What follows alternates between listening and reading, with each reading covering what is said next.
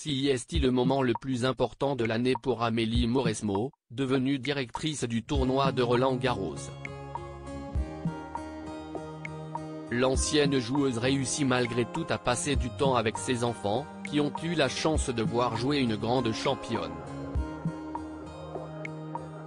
D'ici quelques jours, les regards des amoureux de tennis seront tournés vers Paris et son fameux Roland Garros, qui fait partie des tournois du Grand Chelem, les plus importants de la planète. Cette année, la donne est quelque peu différente chez les hommes avec le forfait annoncé du maître des lieux, Raphaël Nadal. Je ne vais pas être capable de jouer à Roland Garros. J'ai travaillé autant que possible chaque jour ces derniers mois. Ça a été difficile, on n'a pas trouvé la solution au problème que j'ai eu en Australie. Je ne me sens pas capable de jouer selon mes standards à Roland Garros, a déclaré le champion, plongeant ses millions de fans dans le désespoir. Un gros coup dur pour le tournoi et notamment pour sa directrice, Amélie Mauresmo.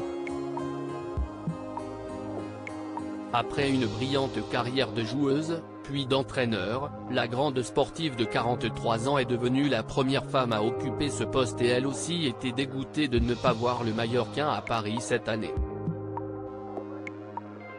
Je suis extrêmement déçu pour Raphaël Nadal, qui est amené à renoncer à Roland Garros, son tournoi de cœur. Je pense d'abord à lui et j'imagine la douleur et la tristesse qu'il doit ressentir après avoir dû prendre une telle décision. Cela a dû être un véritable crève-cœur, avouait-elle dans un communiqué. Aaron et Ayla admiratifs devant la meilleure joueuse française malgré cette très mauvaise nouvelle, la championne peut garder le sourire puisque la plupart des stars seront là cette année, à commencer par Novak Djokovic. De plus, Amélie Mauresmo a la chance de pouvoir compter sur ses enfants, Aaron, 7 ans, et Ayla, 5 ans, qui ont pu venir à Roland Garros le 23 mai dernier, comme leur maman l'a montré sur Instagram.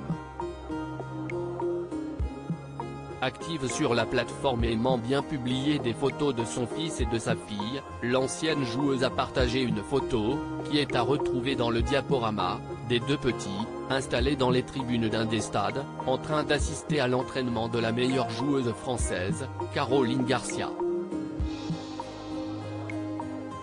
Attentif, écrit simplement la directrice du tournoi, visiblement contente qu'Aaron et Ayla apprécient le spectacle.